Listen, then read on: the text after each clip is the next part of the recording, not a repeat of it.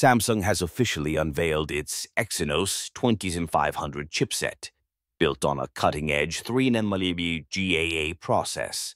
This powerhouse features a 10-core CPU with Cortex X925, A725, and A520 cores, plus an AMD collaborated Xclipse 950 GPU with hardware ray tracing.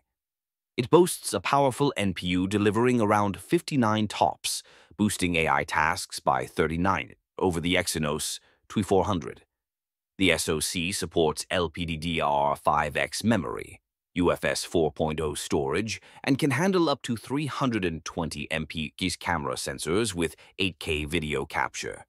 With mmWave 5G via the integrated Exynos 5400 modem, Bluetooth 5.0 and Wi-Fi 7, it's packed with features.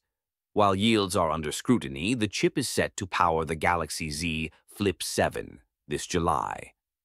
However, the Galaxy S25 series may lean on Snapdragon 8 Elite due to production limitations. The Exynos 2500 is a significant technical stride, but real-world performance may lag behind Snapdragon and Dimensity chips. For all the latest news, like and subscribe to the Tech Voyager.